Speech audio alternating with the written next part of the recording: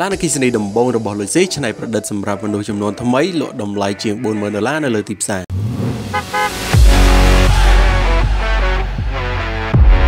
ក្រុមហ៊ុនផលិតឡានលុយស៊ីទីបំផុតដាច់ចិត្តបញ្ចេញឡានអគ្គិសនីដំបូងរបស់ខ្លួនជាផ្លូវការជាមួយរូបរាងថ្មីមិនចាញ់បងប្អូនរូបផ្ទៃ Toyota នោះទេដែល concept design បែបអនាគតឲ្យសមស្របជាមួយនឹងចំនួនថ្មី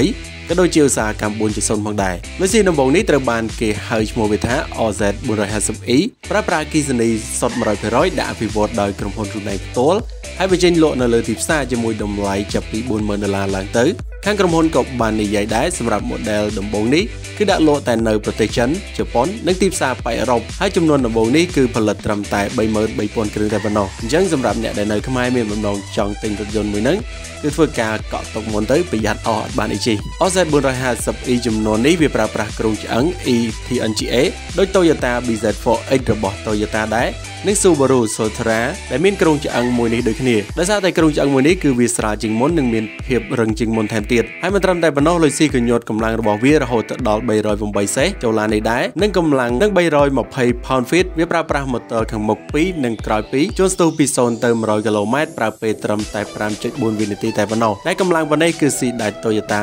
BZ4X ហើយរថយន្តម៉ូដែលនេះវាក៏បំពាក់កញ្ចប់អាគុយទំហំ71.4 kW ម៉ោង នៅពេលដែលសាក់ថ្មពេញម្ដងវាអាចទៅដល់ល្បឿន